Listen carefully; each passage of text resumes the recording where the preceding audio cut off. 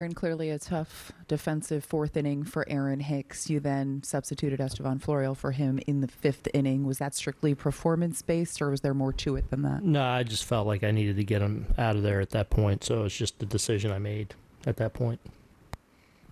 Based on the missed catches, or or more? Just yeah, I just felt like it was, you know, I just felt like it was all just a big fa- uh, factor, and I just felt like I needed to do it at that moment in time.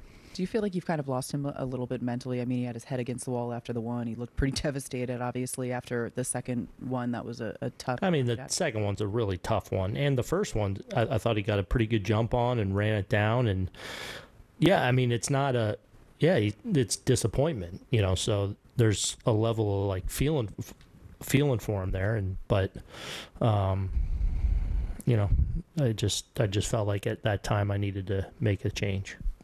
Eric. Aaron, how much of a contributing factor is the, the crowd reaction to those plays? I, I, Well, you want to get them out of the spotlight of, you know, Right. the- I mean. I, I guess it's all part of the baked into why I made the decision. You know, feeling like you know it was having an effect, and I just felt like I needed to do it. Brendan. How how was he when you pulled him? Uh, was he like what, what were his spirits at the time? I mean, he came in, you know, because I told him pretty much right away, and you know, so he was pretty frustrated and you know uh, upset, and um, you know, there wasn't a lot of conversation about it yet. Is this one of those things where you have to get him back in there tomorrow to? to, Uh, to, to no, w- not necessarily. away, No, no. We'll just got to keep keep working. You gotta you gotta fight through this. Andy. So your decision to pull him out of the game was that a punitive for not? No, Okay, it was more about he wasn't in a headspace to play. yeah. Okay. Anyone else? So what did you see from the lineup tonight against Rasmussen? Yeah. Um, you know, threw a lot of hits out there. We we had some chances. Um, you know, obviously didn't didn't do a lot of damage against them. Obviously, um, I thought he threw the ball really well. I, I mean, I thought his cutter was was terrific tonight to to righties and lefties. Um, I thought his stuff was good. Um, you know, we we I, I thought we were competitive against them, made them work, um, but just you know couldn't do enough against him. But I think that was I thought he threw the ball really well. Meredith. What'd you think of Montas? Yeah, I thought he battled really well. I, I mean, he deserved a better fate. You know, I thought you know to make some plays behind him. Um, you know, I, I didn't think he really had his splitter going early. So, but I thought he competed really well and and you know got into a decent rhythm there later and started executing. Um, so I th- I thought it was.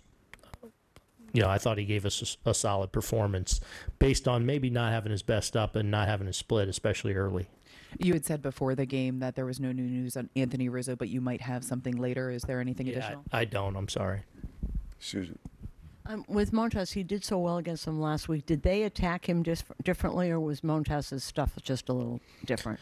Well, again, I, I think he's really close to going six innings and giving up a run. You know, um, so you know, I, I think maybe we don't complete some plays that extend some innings there. Um, and and I don't think he had his split. You know, which which he had a little bit of everything, and I thought he had a really good splitter in down in uh, t- in we were playing in Tampa. Um, you know, tonight I don't think he had that, but he kind of competed with what he had. You know, and then he he did throw some good splits at different points in the game, but you know, last week in Florida he had he had a little bit of everything going. Lindsay. Aaron, you, s- you said the other day after having a conversation with a player uh, that you, you know, it, w- you needed to address the play, but you didn't have concerns about his level of hustle or gamer. Do you f- is that what you were seeing from Aaron Hicks when addressing him in this situation? Is that what I, I, I don't follow? I think that was a really bad attempt to ask that question. But you, you said with Donaldson the other day that when you spoke with him, you said, you know, Right. you got to make sure on that play. But Yeah, this is different. Brendan. Did uh, Aaron communicate to you that he thought the ball might have been foul? Is that why why he stopped? Oh yeah, I think he definitely thought it foul. It's not, Just not a punishment. Just clarify. I mean, I, I think I've answered this. I think we got it by now. Just clarifying Yeah. the play. Yeah, was not a punishment.